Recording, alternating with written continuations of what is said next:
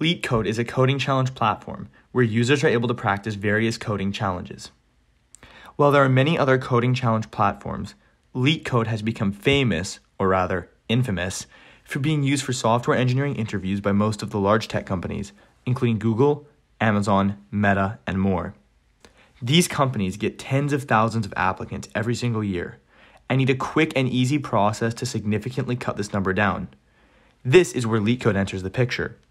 If an applicant is not able to complete the challenge or uses a method that is inefficient from either a time or space complexity, they are rejected. When applying to any of these companies, you almost always get an immediate LeetCode assessment to do. This is called an OA, short for online assessment, and is one of the most important things to prepare for when job searching. In fact, LeetCode has become so synonymous with coding interviews that books and YouTube channels have been created with the sole purpose of helping people study for these challenges. While LeetCode has its benefits for the company's hiring, it has a negative reputation in the software community for being too focused on memorization of patterns and not enough about practical programming knowledge or passion. That being said, LeetCode is here to stay, at least for the next few years.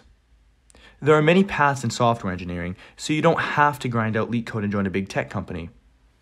But with how common LeetCode is becoming, even from mid sized firms to startups, I really recommend you become at least a bit familiar with it.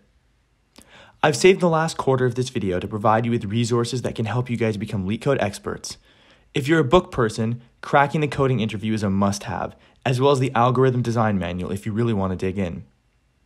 For YouTube channels, NeetCode is the best there is, with detailed explanations for each LeetCode problem so you learn how to solve them. This has been LeetCode in 2 minutes. Thanks for watching, and good luck with those challenges.